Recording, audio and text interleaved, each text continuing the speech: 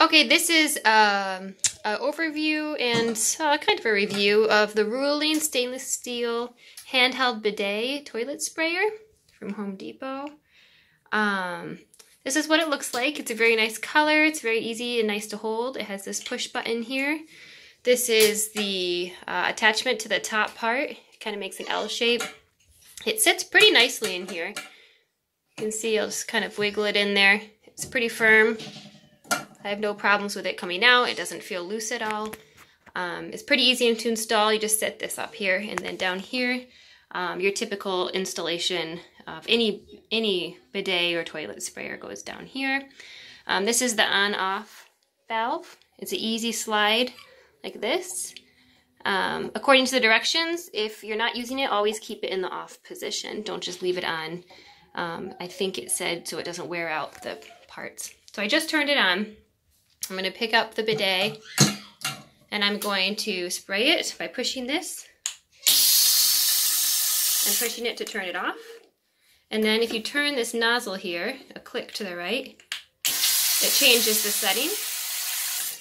Also, if you adjust, a few drips at the end, hang this back up. Sorry for the one-handed review.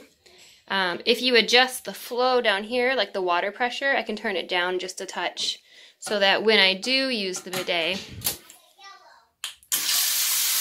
much smaller, although right now it doesn't look that small. Let's see if I can adjust it. See if I can do it so you can see it. Okay. I'm going to turn this over here a little bit less. I can change the water pressure like that. Make it really high and make it low.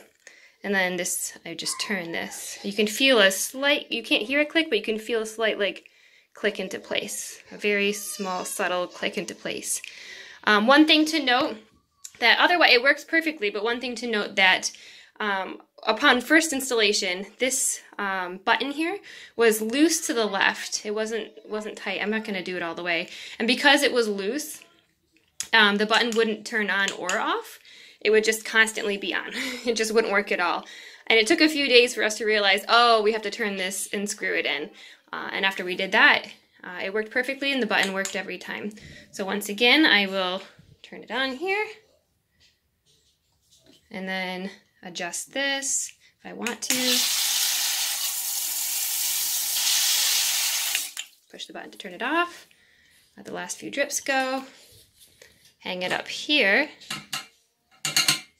kind of wiggle it into place, and that's it.